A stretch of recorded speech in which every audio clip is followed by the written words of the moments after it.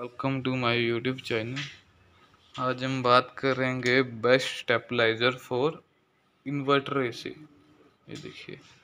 ये we guard की तरफ़ से स्टेपलाइज़र आता है, जो कि स्पेशली ही इन्वर्टर एसी के लिए डिज़ाइंड है। ये देखिए।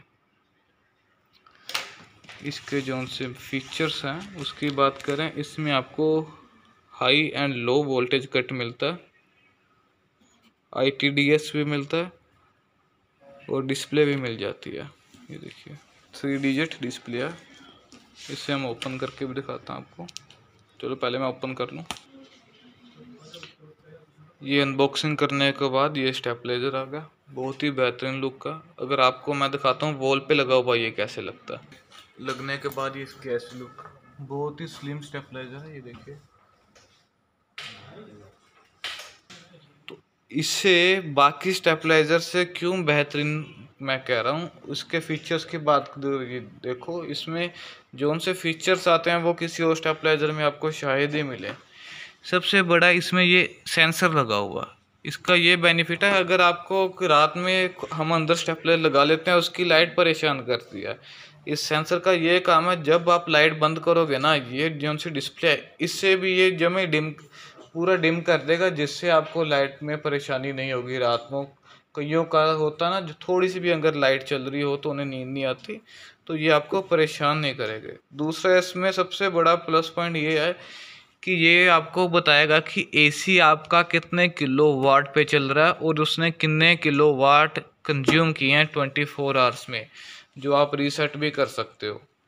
अगर आपने चेक करना, मेरे एसी दो आवर्स में कितने किलो वाट ले रहा और रिसेंट क्या ले रहा है वो भी बताएगा इनपुट लाइट क्या आ रही है वो भी बताएगा आउटपुट लाइट क्या जा रही है, क्या दे रहा है ये करके वो भी आपको शो करेगा।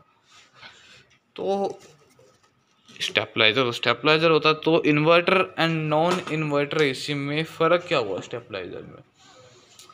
क्योंकि स्टेपलाइजर तो ये भी है, पर ये नॉन इन्वर्टर के लिए है ये V M I series V I V T I series ये सारी इन्वर्टर के लिए आ गई तो मेन बैन फ़र्क क्या है? फ़र्क ये है कि जब आपकी लाइट पीछे से कम होगी, समझो अभी दो सौ बीस वोल्ट आ रही है,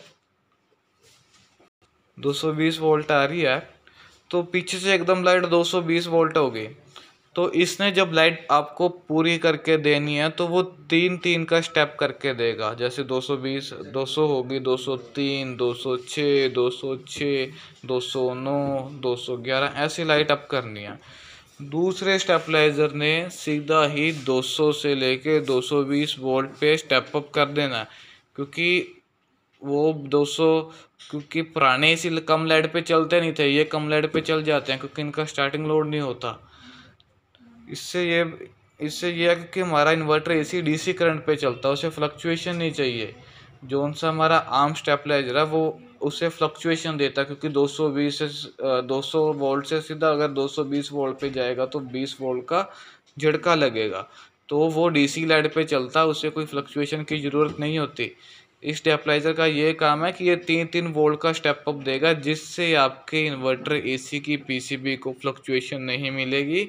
और आपका एसी को कोई दिक्कत नहीं होगी।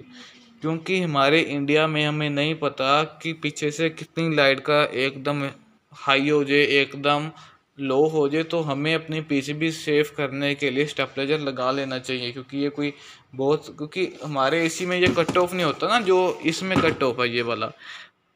कंपनी एक वर्किंग रेंज लिख तो देती है, पर उसके बाद कट ऑफ़ भी होना चाहिए ना, इस स्टेपलाइजर में कट ऑफ़ होता है। इसका ये बेनिफिट है। ये देखिए। अगर वीडियो में कोई चीज़ नहीं समझ आई तो आप मुझे कमेंट सेक्शन में कमेंट करके पूछ सकते हो। Okay bye bye